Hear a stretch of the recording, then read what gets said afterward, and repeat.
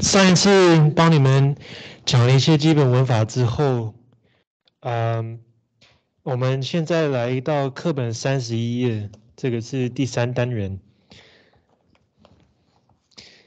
这一题我们之前有一起做过，我们可以趁上过一点基础文法复习之后，我们再看一次，然后来看说，嗯，第一题。这一封信有若干的文法错误，单字文法错误。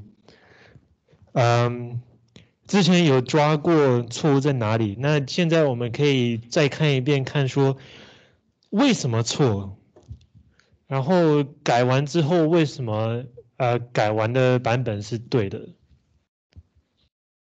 当时的答案你们有有写下来吗？如果没有写下来的话。更好，可以从头再做一遍。嗯，来看一下哈。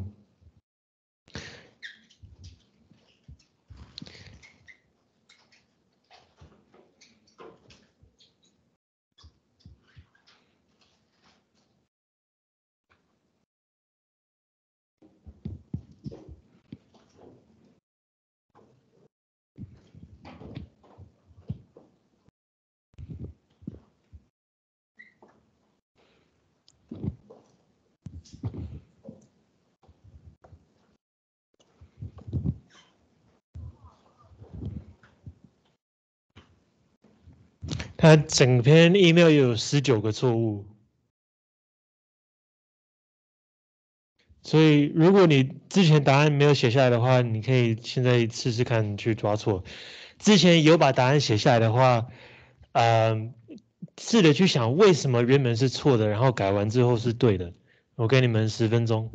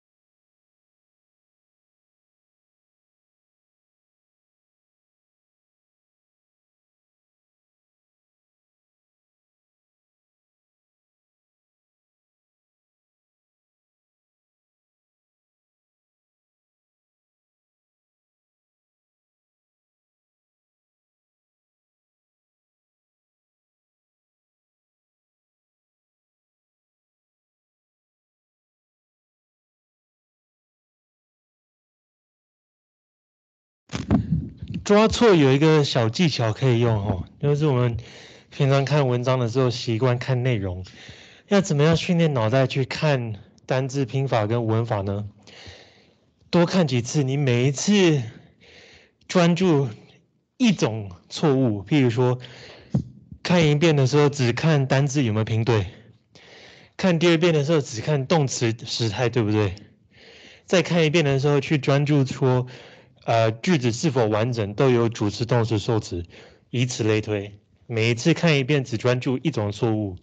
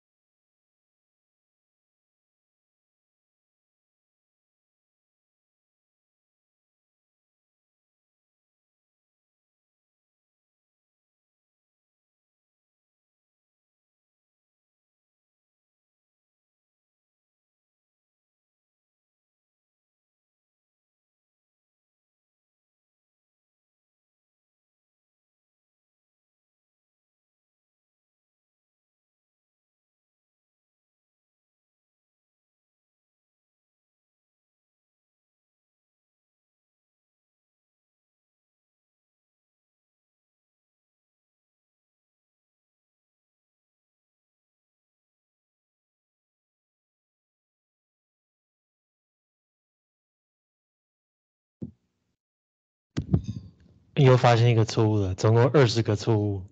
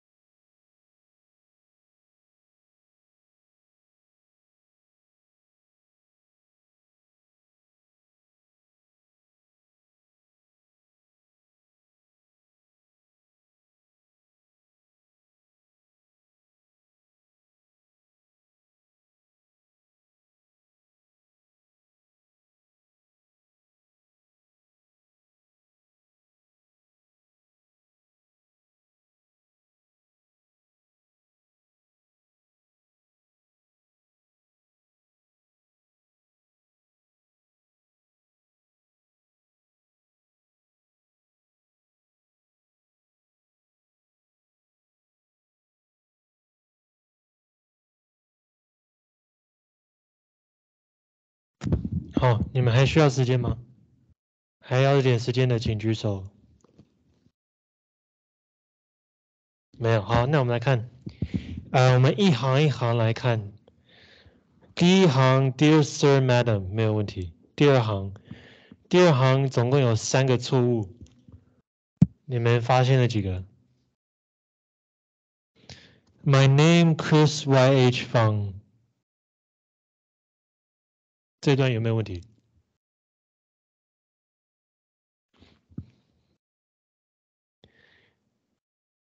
如果这一句是完整句子的话，请问它的主要动词是什么？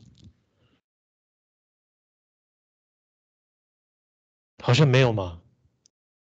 他忘记动词了。这边 My name is。Chris Y H 方，这样才有才是完整句子。主词是 name，动词是 is，然后呃主词补语告诉你是什么东西，就是它的名字。再来，And I will graduated from Mingchuan University on Taipei next summer。这部分有两个问题，请问这一句是发生在什么时间点？应该是未来嘛，对不对？但是他这边写 I will graduated，把未来跟过去混在一起了，所以这个应该是单纯原形 graduate。另外一个错误，呃，稍微细一点，它的介系词不对，城市的介系词应该是 in，in Taipei on。呃，有些介系词比较抽象，有些比较具体。on 是相当具体的，就是一定是在呃某一天或是一个具体的东西上面。那城市有可能是 in，有可能是 at，要看你是在呃什么脉络之下在讲的。通常 at 的概念就是一个点，它没有空间概念。那如果你譬如说，在这边说这一座大学，明传大学位于台北市，所以它是有空间概念的。这个时候，城市的介系词是用 in in Taipei。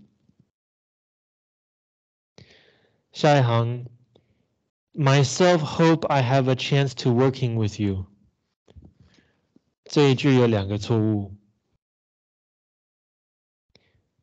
第一个就是主词不对。这应该是 I 就可以了，没有那么复杂。反身代名词通常是有两个用法，一就是，呃，你要就是通常是我嘛，就是我这个，或是反身代名词在同一句出现第二次的时候，呃，为了避免混淆，可能跟其他就这一句可能有其他代名词出现。为了避免混淆，你是特别针对那一个代名词，你就会加一个 self 反身的，跟主词是同样的的代名词再次出现。第二种用法是强调，所以譬如说，如果这一句是 I myself hope that 什么什么，那就是在强调我本人。那这边都没有这些这两个状况，所以这个单纯用 I 就可以了。然后呃，另外一个问题，have a chance to work with you，这个是嗯，to 这个介系词是唯一呃后面会加动词的介系词。所谓 to 介系词包含 to 的变化，比如说 into、onto。也都是，只要有 to 的介系词，后面常常加动词。英文其他所有介系词后面都是接名词，所以这边 chance to work 后面是接原形，它这个是不定词用法。To work with you。那你真的要挑的话，其实这边应该放一个 that。我们上次有提到，呃，如果你是拿一整句完整句子当做主词或受词。也就是一整句当做一个名词在使用，那你前面应该放一个 that 来表示。所以 I 主词，have 动词，a chance 受词，然后剩下补充的东西。所以这一句是完整的，这一句是完整的一句话，它当做 hope 的受词，所以中间应该放一个 that 表示说接下来这个名词子句。完整的一句话当做一个受词，不过这个点很小了，通常口语，呃，常常会把这个再省略，所以，呃，一刚刚我讲说有二十个错误，不含这个错误。下一句，I heard that HG company has a great training programming，这里面有一个错误。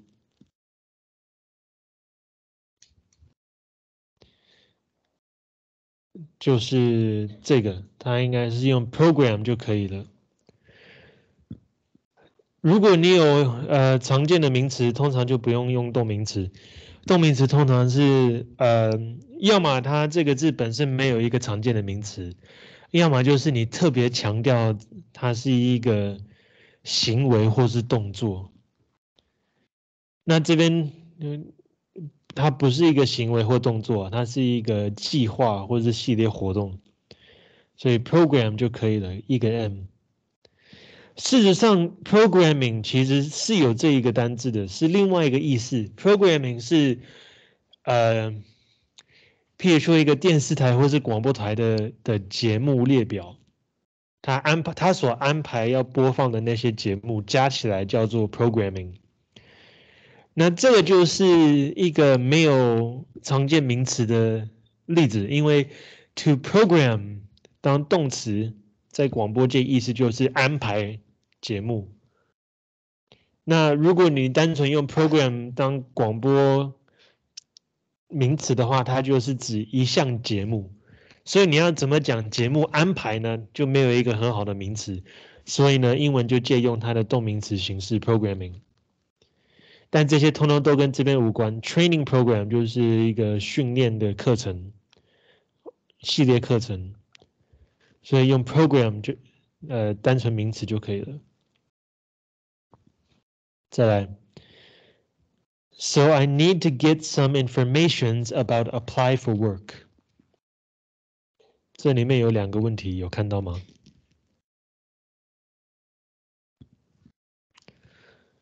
第一个。资讯通常不可数，information 不加 s。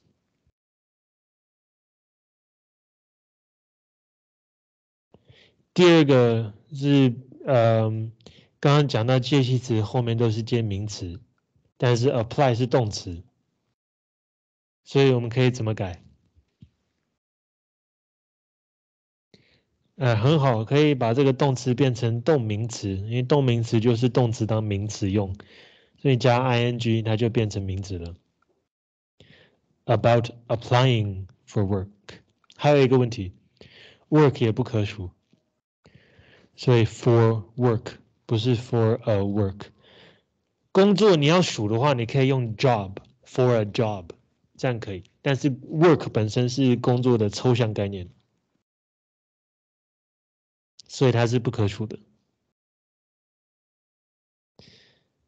好，接下来第一点，Do I need to take TOEFL or any other tests？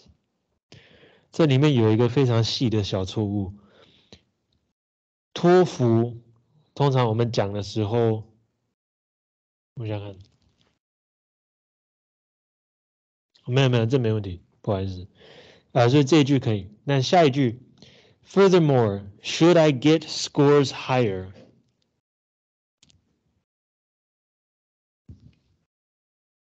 啊，我想这应该是直接从中文来嘛。我需要得到分数更高吗？这样中文也不对啊，更高的分数中文也比较顺呢。不太确定为什么写成这样。嗯，但通常我英文接呃形容词会放在名词前面，所以 Should I get higher scores？另一方面，呃，通常考托福或这个。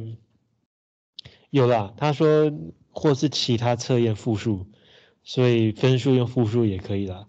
那如果他单纯只是问托福一种测验的话，那呃分数用单数比较合理。所以 Should I get higher scores？因为有少数形容词一定要放在名词后面，但是大部分都是放在前面。第二点。Is there dormitory in the company or will I have to live at home？这边有两个错误，你没有发现吗？第一个错误，dormitory 怎么拼？D O R M 这个是大家都会的，因为要要就是简称，但是下一个母音是 I 不是 A。M I T O R Y，这个特别困难吼，因为就是它是不强调的母音。英文单字只要母音不强调，基本上全部都是发耳的音。所以不管它是用 A 拼还是用 I 拼，就是最后发出来就是耳 dormitory。但你就要记得它是一个 I。另外一个问题是，宿舍可以数吗？宿舍可以数哦，所以 Is there a dormitory in the company？要数，要加一个 a，在这边。嗯，dormitory 这个单字有一些模糊空间，它到底指的是一间房间，还是指一栋宿舍？要看前后文，两个都可以。那它这边的脉络，既然它是讲一个宿舍，所以它应该指的是整栋宿舍。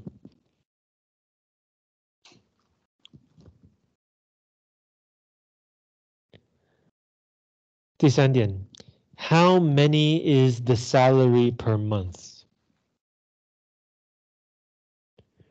这个问题有看出来吗？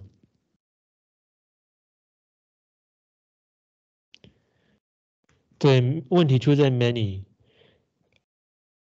线索就在这里。many 应该是问很多东西，可是它后面动词却是 is 单数，所以要么就是动词变复数，要么就是 many 要变成呃，就是要么就是后面东西其实必须是单数，所以 many 要换成 much，就是不可数的多的概念。那答案其实是后者，salary。不可数，薪水，呃，就是一份薪水可以数，但是他这边问的是薪水多少钱，这个就不能数，所以 many 应该改成 much，how much？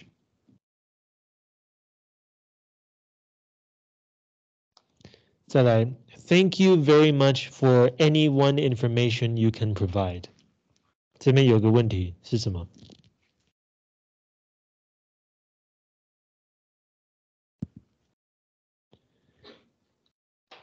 Anyone 是人，那个 one 是指 person 人，但是这边问的不是人啊，它是说任何资讯，所以这边把 one 删掉，应该改成 any 任何资讯。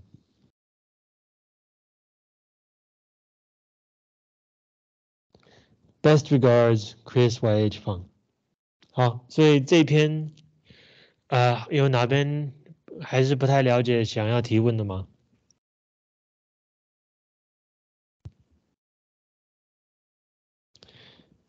好，我们等一下会回来做下半，但是我想先去第七十九页第六单元。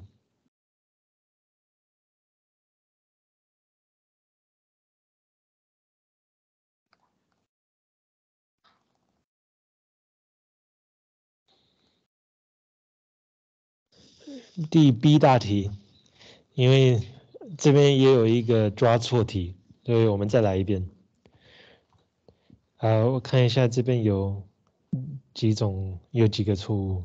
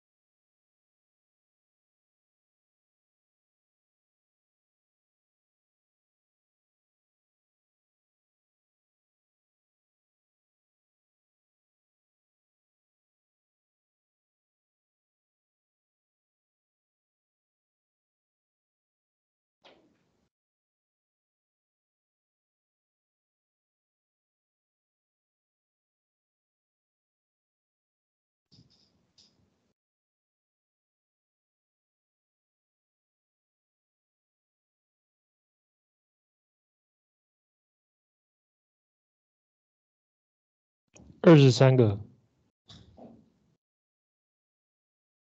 对，里面有二十三个错误，其中有一个错误，其实它它同样的资那个资讯出现两次，然后一次是对的，一次是错的，所以有一个错误是可以用比较出来的。然后里面也有两三个错误是我们刚刚已经看过一次的，所以真正新的错误其实差不多才十九二十个，差不多一样的量。给你们十分钟，看你们能能够抓到几个。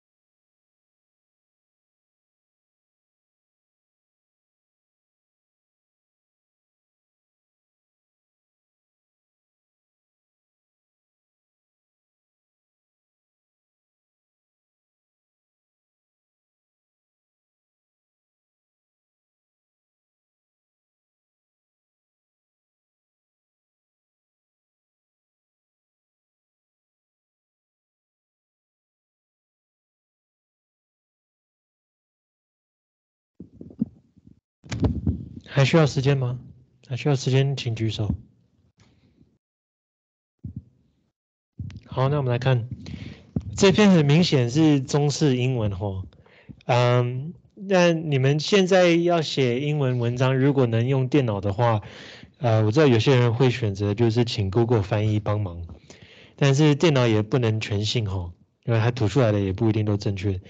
所以呢，在有 AI 协助英文写作的时代，抓错能力特别重要。好，我们来看这篇第一行，Sir Mr. Jameson，有问题吗？信件开头可以这样开吗？我们通常会写 Dear Mr. Jameson，是比较能接受的开头。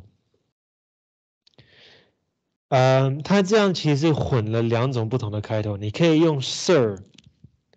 这个通常就是蛮生硬的，可能就是比如说你要，呃，读者投稿去报章杂志，读者投信会用这样的开头，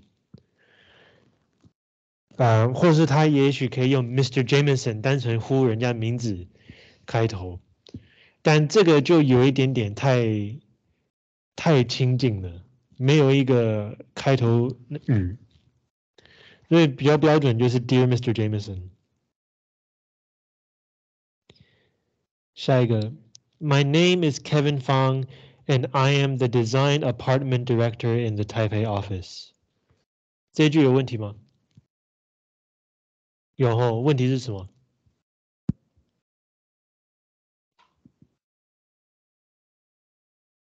它不是 apartment 吼，这边写的它是 department，或者是下面它其实写对了 department。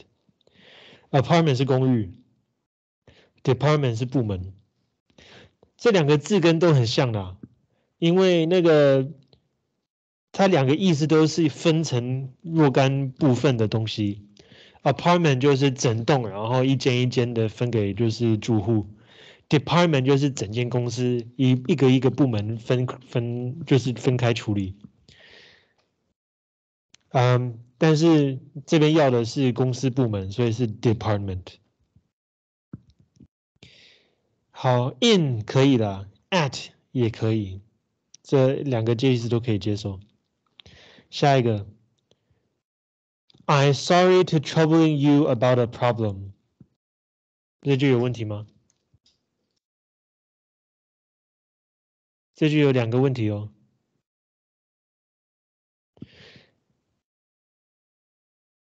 呃，好，I sorry to troubling you about a problem。花束很不很不配合，等一下，好了，所以这一句主要动词是什么？Sorry 可以当动词吗？Sorry 是形容词哦，感到抱歉，所以好像没有一个主要动词哈，所以要自己加进去。I am sorry 要用 be 动词。to 开头介系词后面东西都是补充的，真正句子就是 I am sorry，我很抱歉。好，那第二个问题就是我们刚刚有遇到过 to 后面这种情况应该是加动词原形，to trouble you 麻烦你，或是打扰你。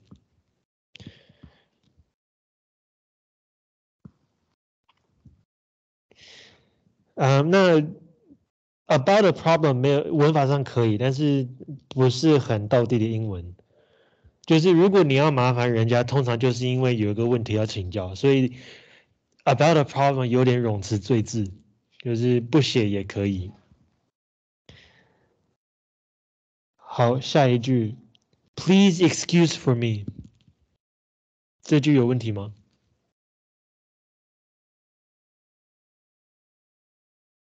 英文说不好意思会怎么说？Excuse me 就可以了嘛，所以不用那个 for。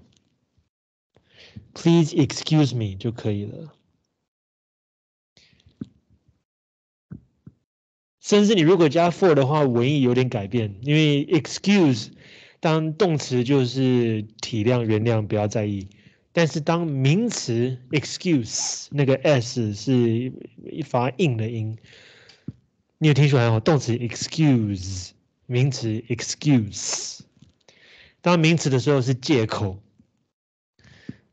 所以呃，容易让读者以为你要讲的是 please make an excuse for me，请为我开借口。那这个文意就恰恰的是，呃，他要表达的相反嘛。他的意思是说，请体谅我，而不是说要给我一个借口。所以不用那个 for。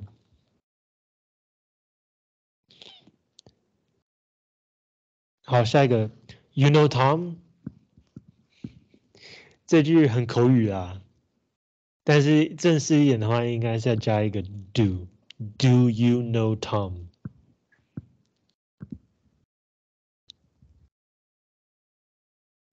下一个，He is the new employee in our department。这句有问题吗？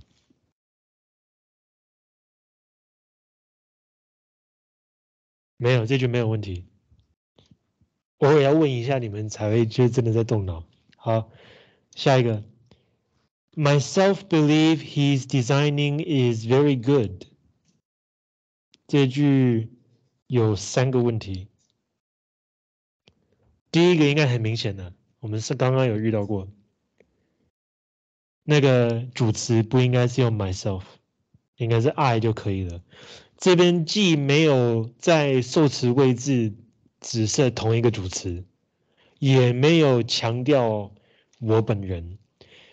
即便有强调我本人，他也是要写 I myself，两个都要出现。所以，呃，这边。最直接改法就是把 myself 改成 I，简单主词就可以了。第二个问题，啊不应该说还有两个问题，你们有看出来其中一个吗？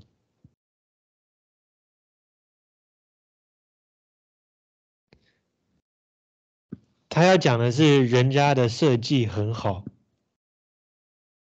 所以这个不应该是 his 嘛？这应该是 his，h i s，这个就是很中式发音导致写错字。第三个问题是 design 可以数。首先，design 本身就是名词的，它不用用动名词。那再来，design 可以数，所以我相信 Tom 这个人他不会就是在公司整段时间只有一个设计，所以应该是复数。His designs are very good.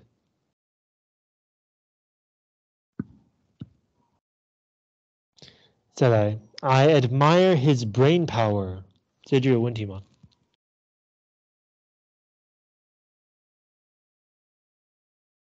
好像没有问题嘛。I 主词，admire 欣赏动词，his brain power 他的脑量受词，很简单的句子，没有问题。再来，about his communication and cooperating is a problem。这句有问题吗？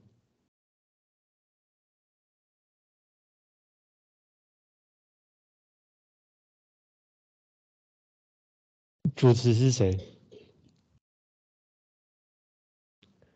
有双重主词哦，communication and cooperating 两个主词。所以动词应该是复数，are。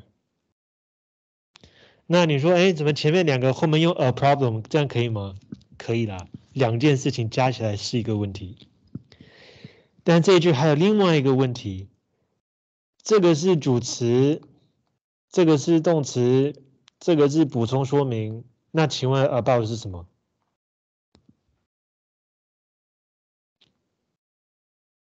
？about 就是问题之所在。我觉得原文他应该想讲的是 but，然而，当然你直接删掉也可以了。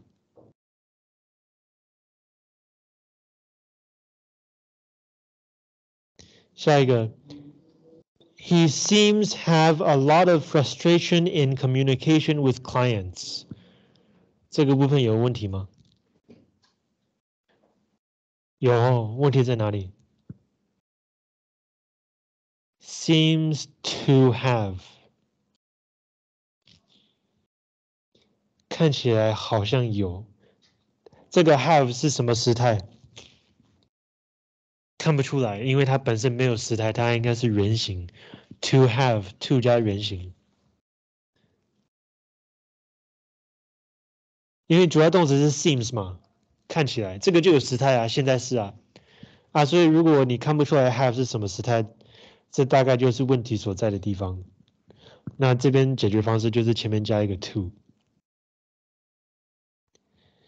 然后下半。And is always be late for meetings。这部分有问题吗？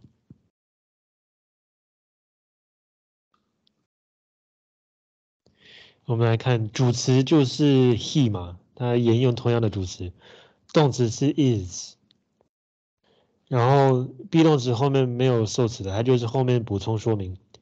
那请问就是这个 be 要怎么解释？我迟到了，I'm late。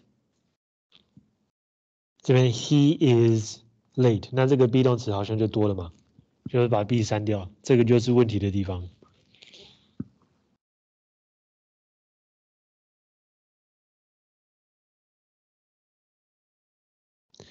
好，下一个，You know this is the high stress work。这部分有问题吗？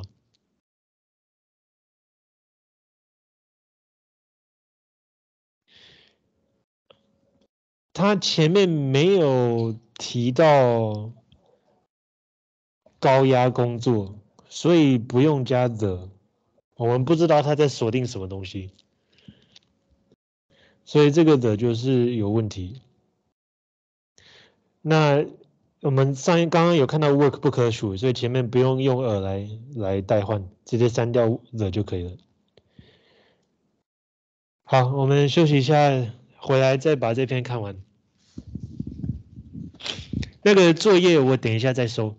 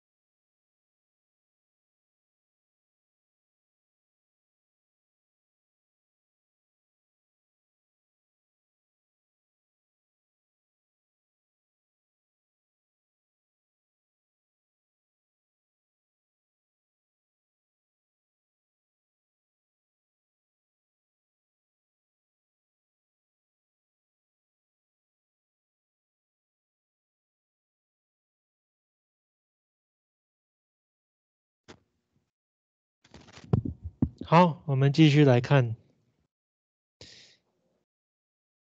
呃，You know this is high stress work. We can all understand. 我们刚刚已经看到第一个的应该删掉，而应该就是只只有这个的，只有一个，就是那个的应该删掉。这一句还有问题吗？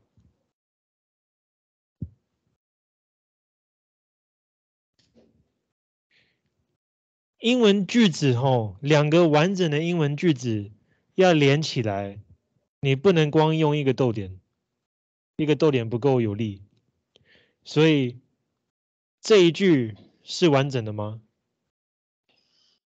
主词、动词省略一个 that，又是名词子句，所以后面这个是它的受词，所以这句完整。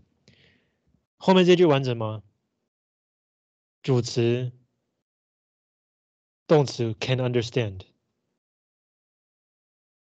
算是完整。你不讲说可以理解什么，其实言之心知肚明啊。所以完整，前后句子都是完整句子，你不能光用一个逗点就连起来，要用逗点加连接词 and，或是用分号，或是用破折号，或是干脆拆开来写两个句子。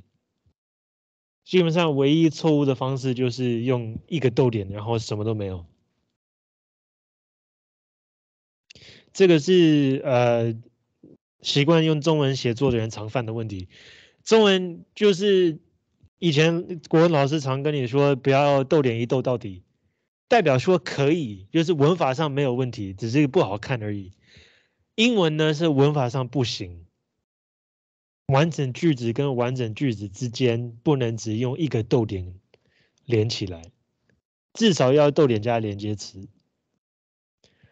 所以，呃，连接词对等连接词有五种嘛，and、but、or、so、forth，就是五种逻辑关系，和、差、则一、因为、所以五种。嗯，所以五种关联这边比较适合哪一个呢？你知道工作很高压，我们都理解。and 感感觉比较好，我们也都理解 and 嘛？OK，好，所以 and we can all understand。How can I help him？这句有问题吗？好像没有问题嘛。我可以如何帮他？算完整。I think this requires EQ and you have much EQ。这句有问题吗？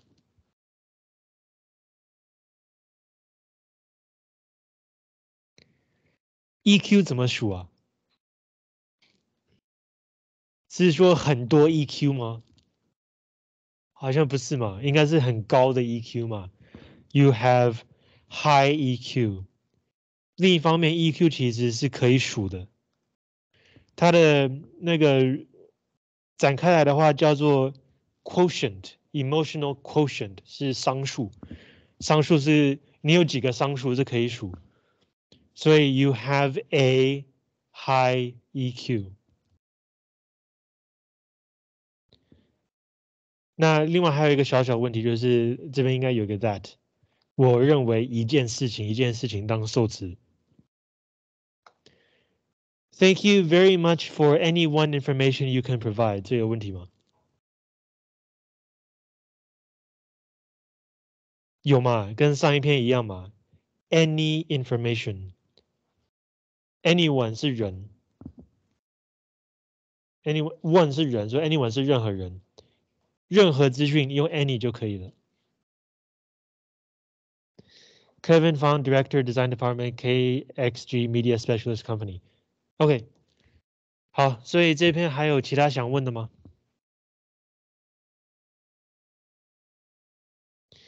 好，呃，接下来我们进入写作正题。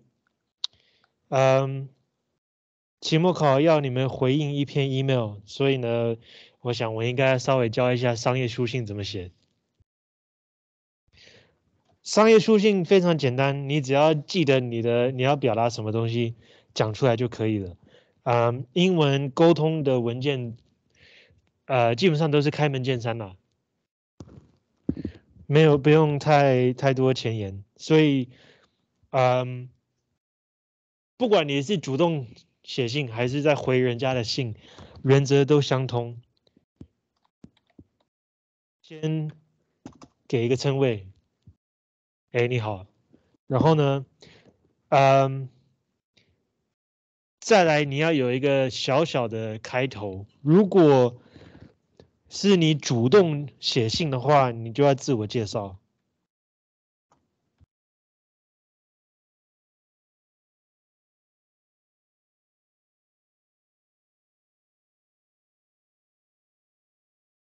所以，如果是我写的话，我第一句大概就是会这样写：我是谁。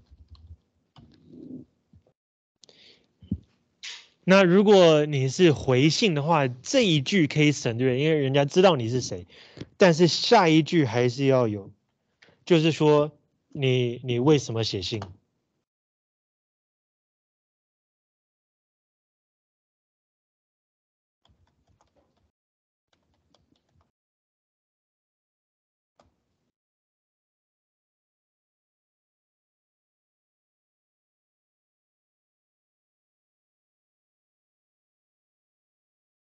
所以在这个例子里面呢，我写信给 Tim 这个人，是要提醒他要在下周五之前要缴交写作作业。嗯，那如果啊你是回信的话，那前面已经有过一番沟通了嘛，所以这个时候通常会有，譬如说，呃。我在回应你的什么事情？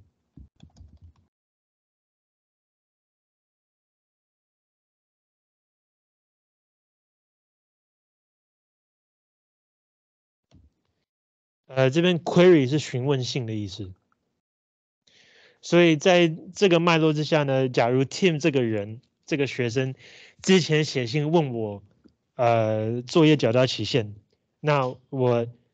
回应他的第一段，我就会写说一句话就可以了，就是我回信是要我我写信是在回应你之前问我作业缴交期限的问题。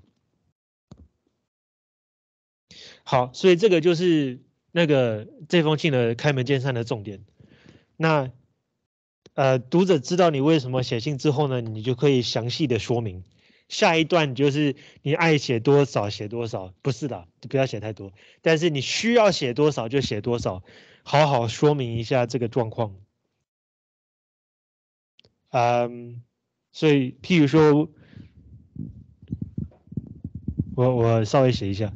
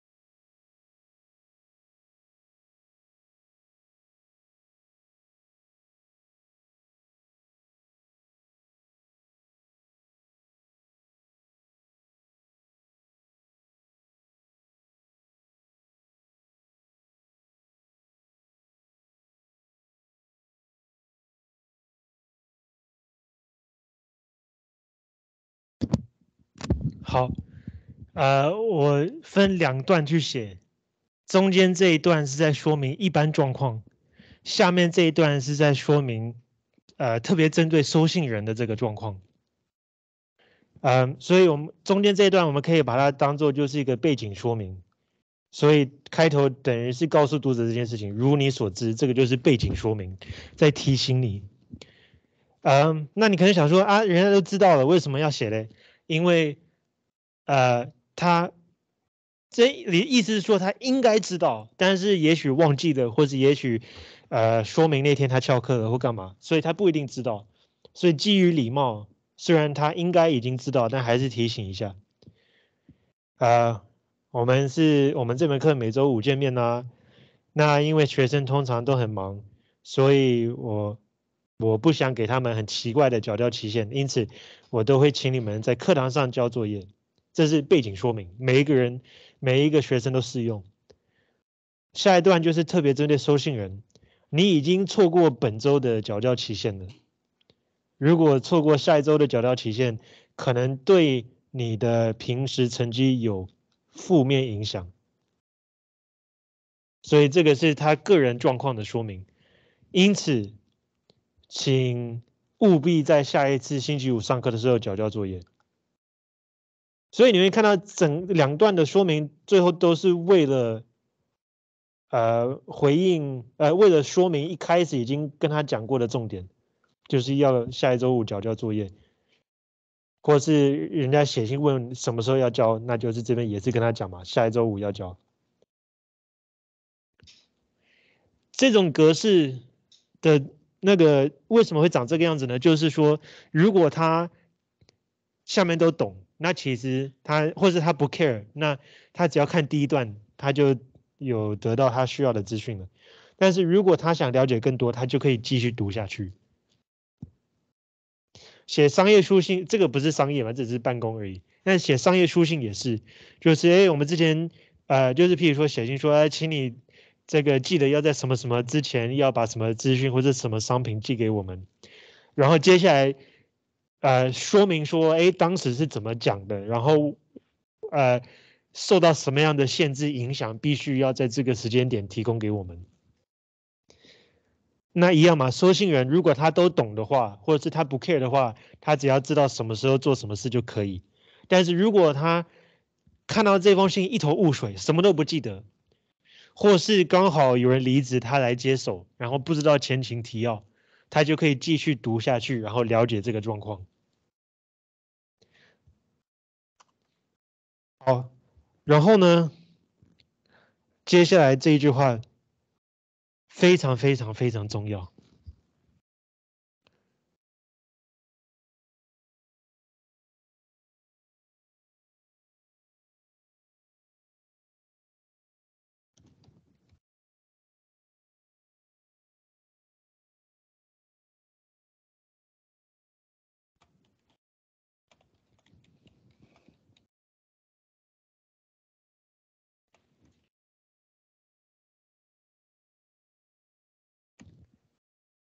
这句话是你展现人性的地方。虽然是商业书信或是办公书信，重点是办事，但是毕竟还是人与人的关系，所以你还是要加一句，呃，表达关怀或是一个邀请继续沟通的一个一个就一句。有些人习惯写在前面，那我自己是习惯写在后面。嗯，这也可能是看两个人的关系。如果收信人你跟他比较熟的话，你可以先问候，然后再说事情。那这边呃，老师跟学生的关系，就是尤其是提醒要缴交迟交作业，呃，我自己觉得可能就是到后面问候也也不错。所以希望这学期过得还不错，然后再来，如果你有问题的话，随时可以提问。Annie 是如果。这个是我主动写信，就是看你有任何问题来提问。如果是回应人家的信，他已经提问了，所以如果你还有问题，欢迎提出。好，然后再来，呃，呃，要署名，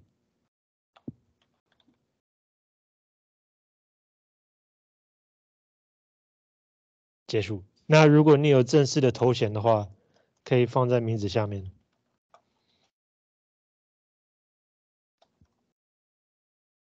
所以嗯，署名用什么字呢？嗯，商业上习惯用什么 regards？我写一下好了，是呃 kind regards。Regard 这个意这个字的意思是说，呃，向你问候，向你就是致意。它的字根来自法文，它原本的意思是看的意思，意思就是说我呃看到你了，有有看到你的存在这样子，向你致意。那呃之前比较流行是 sincerely，但是现在好像有人会觉得有点太呃僵硬。那如果你是英国人的话，或是如果你是我的话，你可以用 cheers 结尾。都可以的，你可以上网找一些其他的，这有很多种啊，还有什么 yours 啊，yours truly 的啊之类的。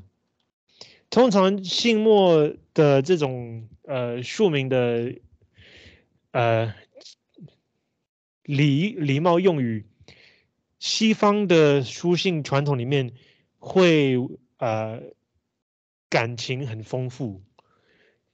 所以像 yours truly 就是你真诚的什么朋友或什么之类的，即便不是也会这样子写，或者是如果你看我们一开始开头是用 dear 嘛，亲爱的，这个通常就是会特别强调那个情感的层面。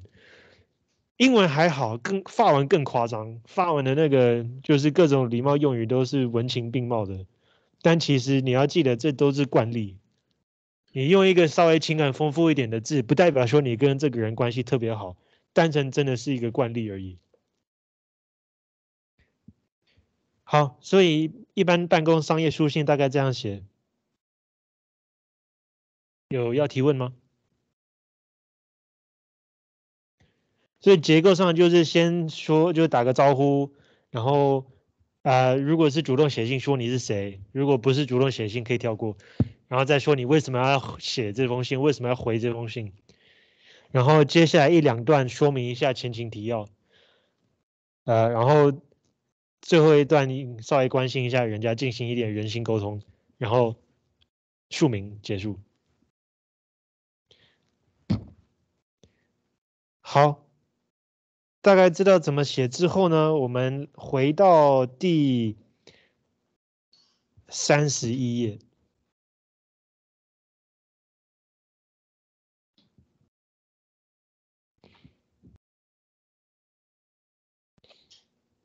因为他有第二部分，这个这个人写了一篇文法不行的信过去，然后人家回了，那可以想一想，人家回了这封信之后呢，原本写信的人可以如何再回复？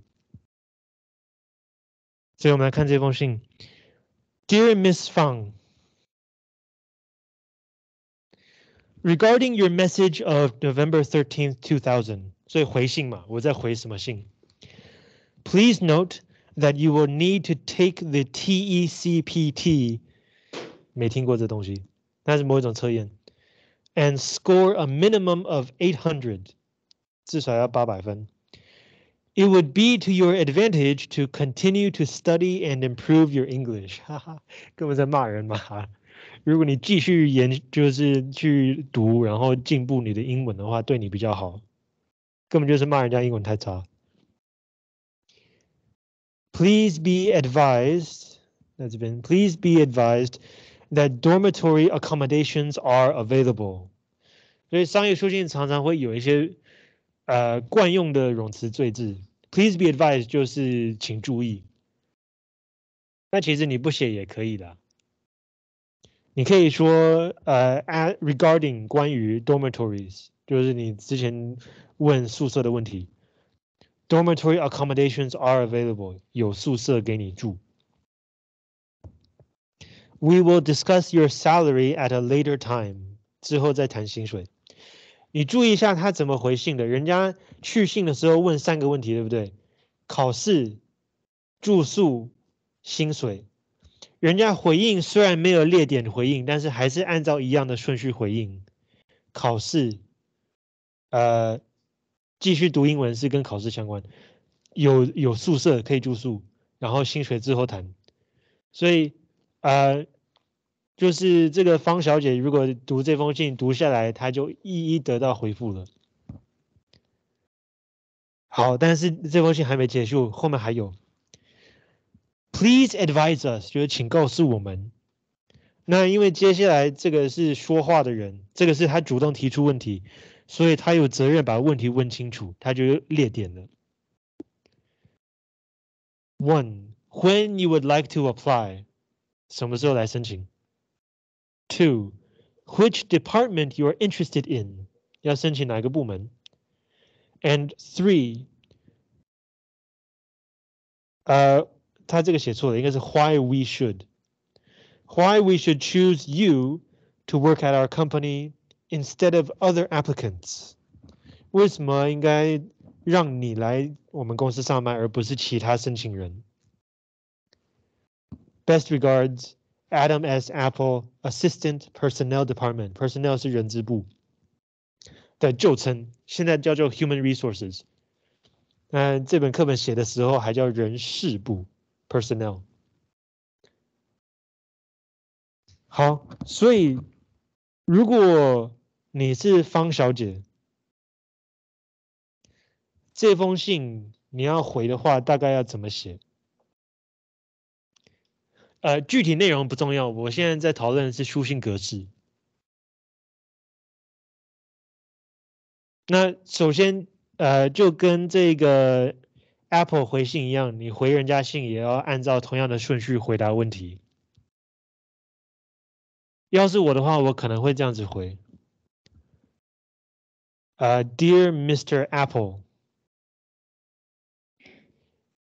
thank you for your reply. I will work hard to improve my English. 下一段。I plan to apply around the end of December, 譬如说, and I am hoping to work in the department, uh, in your department, the department of uh, the personnel department. Uh, I believe I would be the best candidate 候选人 because 然后后面加两句说明就是自己的优点。嗯，然后下一段，呃，I will，呃 ，sorry，if it's not too much trouble，如果不嫌麻烦的话，I will send you my application when it is ready. I hope at that time you will give it careful consideration. 希望到时候你会仔细评量，呃，仔细考虑。然后结尾，Thank you again, kind regards，呃，或是 best regards，Chris。 就是这封信，就回应他的信，我就不会把名字全部写出来，因为我们已经算是在谈话了，所以就是他知道我是哪一个 Chris，我就直接用就是第一个名字，呃，跟他讲就是签名就可以了。署名就可以了，所以回信的结构也是一样嘛，先是就是开头的部分，哎，谢谢你提供这个资讯，然后我也会很努力。下一段是主要回答他问题的那一段，然后就是按照这个顺序回答问题，啊，然后最后再提出说，因为呃这封如果呃你回信不是立刻要申请，那你就。要稍微向未来看齐，你要给未来铺铺路，所以就是到时候申请的时候再麻烦你了，类似这种概念。然后署名，这样可以吗？诶，就是商业书信结构都差不多这个样子的。呃，好，然后。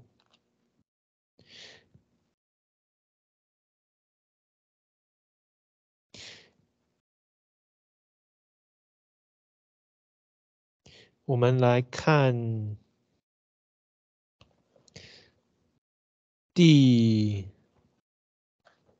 我们我们回回去好了。刚刚那是第几页？七十九页。嗯，不要好了，有点难。我们到六十三页，第五单元六十三页。这个就是我上一周请你们回去写一封信的作业，就是这里。好，那我们今天讲了一些文法概念，然后也讲了一些书信格式的概念。有写作业的同学，想请你们现在拿出来，然后根据我们今天讨论的内容。再仔细看看你写的这个作业可以怎么改会更好，然后直接改，可以是单字文法的修正，可以是结构重新调整，你甚至可以就是翻到背面或空白处，然后重新写一遍也可以。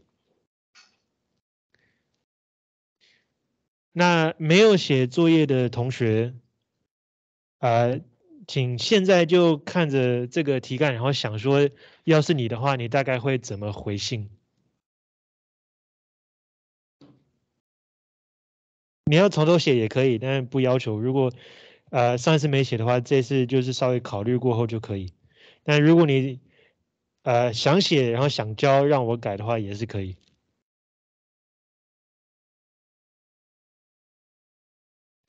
呃，所以上周没来的同学。呃呃，这个题目就是你有学弟妹写信问你说，英文课要上台演讲，我好紧张，该怎么做？然后在这个情境之下呢，你本人已经出社会了，在上班的，然后你要回信，稍微给他一些建议。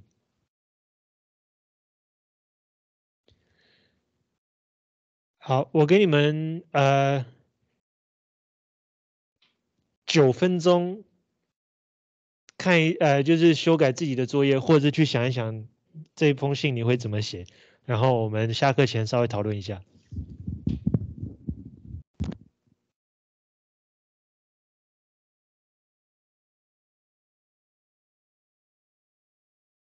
那个修改自己的文章特别困难，因为我们有我们脑袋会常犯一个问题，我们在检查自己写什么的时候。常常习惯去检查，说我写的这个是不是我当初想写的那样？但这样检查没有什么用的，因为基本上很大部分人这这个连接不会有问题。你们除了就是呃刚刚讲的每看一遍只专注一个文法或拼字概念，除此之外呢，还有另外一个思考要有，就是你要检查说我写的。有没有表达我想表达的？不是说是不是我当初想写的，而是能有没有真的去表达我想表达的。那如果你身边的同学愿意帮你的话，你也可以跟就是身边同学讨论看看。我们三十呃不四十六分回来做一个整体讨论。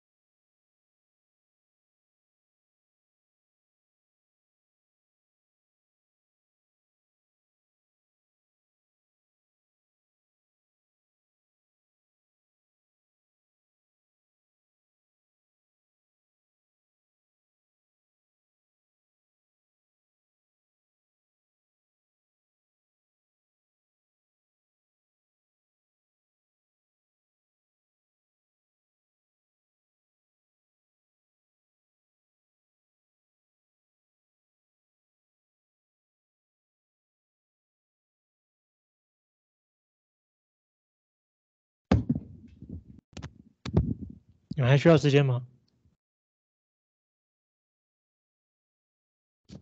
好，那我们来看这一题。嗯，要是我的话，我会这样子回，因为你仔细看他的题干里面，他虽然他说希望可以给一些建议，但是他真正的重心好像在这里。I'm very nervous. Advice for not being so nervous. 所以看样子，他他在问的不是怎么样给一场好的演讲，而是怎么样可以不要那么紧张。那当然，这两件事情是有相关的啦。啊，那那个写信的重点会稍微不一样。所以要是我的话，我就会写说：Dear Joey，呃，Thank you for writing to ask my advice. I'm very honored，很荣幸。First of all, relax nothing will go wrong. And if it does go wrong, your life will continue. 因为这不是人生的终点，不要那么紧张。下一段。Uh, I have some tips for uh, preparing to give a speech. And I think that once you know what to do, you may feel less nervous. 然后下一段就是每一段给一个建议，这个就是按照课本给的建议或什么的，什么什么，呃，拟好题目啦，做研究啦，写大纲啊，诸如此类的。因为每一个建议稍微写一段说明怎么做，然后为什么重要，它的功能功效在哪里。啊，然后最后一段就是写说，呃，But most importantly, remember that this is only one. school presentation. The worst that could happen, 最差就是 you, uh, the worst that can happen is that you get a bad grade. But grades are only one small part of life. Try not to put too much importance on this one speech. 就这个是最后一最后一项建议。 然后下一段就是呃、，I hope everything goes well. Let me know how it turned out. 就是最后情况怎么样，呃，跟我讲一声。然后下面署名，Yours truly，然后你的名字。所以这会是我的写作策略：先安抚人心，然后再给具体建议。然后因为它重点是紧张，所以下面再安抚一遍。呃，然后最后就是来个问候，哎，最后情况怎么样？跟我讲一声啊，打个就是就是建立一下关系这样子，然后结束。你们也许会采取不一样的策略，但基本上只要重要的讯息有出现就可以了，其他都只是稍微细节一点的事情。好，这样可以吗？有没有提问？好，那嗯。下礼拜我们主要要做两件事情。第一件事情就是有交作业的同学，我改完之后要把你们一个一个抓上来，跟你们就是呃讨论你们的就是信。那第二件事情呢，我们下礼拜来做一个就是写作单元的小模拟考好了，不算分数啊，不要紧张，就是让你们练手感。嗯，期末考八十分钟，不只有写作的部分。所以我想一节课五十分钟模拟考应该差不多吧，也许可能还有点就是太宽松，但总是让你们练手感。所以下一周我会带一些纸张，然后让你们稍微练练练看。那，嗯，我可能没办法帮你们就是仔细批改，但至少可以让你们知道题目大概长什么样子，然后练个手感嘛，知道大概在。那个考试的氛围之下，你能够表现到什么程度？OK，好，所以有交作业的同学请交到这边来，然后呃，我们就先休息一下，待会到另外一间教室见。